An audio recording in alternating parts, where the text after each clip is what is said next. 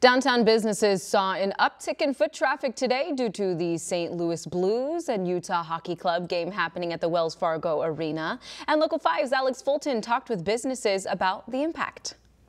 Downtown businesses are happy about an influx of hockey fans coming through their doors. This is the first ever game for the Utah Hockey Club, which just formed in April.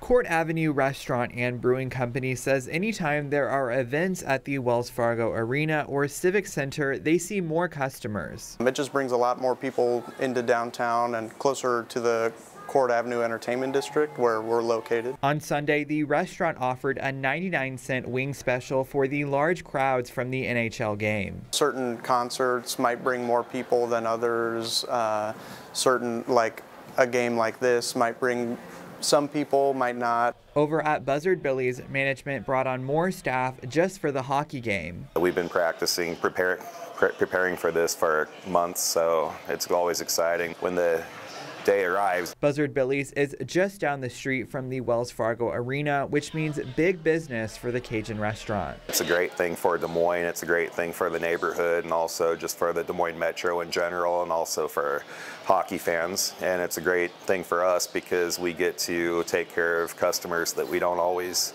uh, get to see. This is the second time the St. Louis Blues have played a preseason game at the Wells Fargo Arena. In 2018, they faced off against the Minnesota Wild. In downtown Des Moines, Alex Fulton, Local 5 News.